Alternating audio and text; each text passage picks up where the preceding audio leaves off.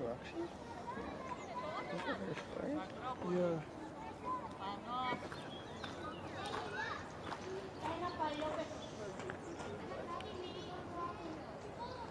And turkeys, there's no way I want them because they're not really allergies.